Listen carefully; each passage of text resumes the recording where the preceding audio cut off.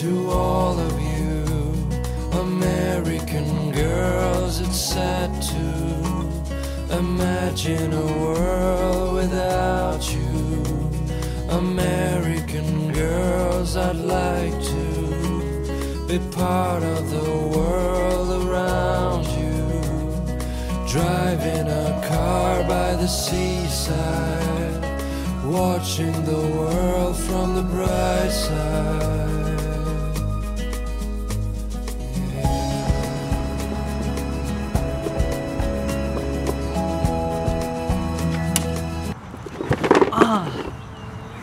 What the hell? What's the problem? Get off the sidewalk, you fat shink!